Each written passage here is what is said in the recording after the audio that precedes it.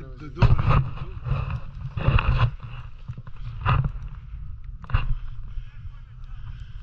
Ouais. Ouais, Michel, c'est sûr que tu l'essayes. Vas-y qu'il y a un bon speed.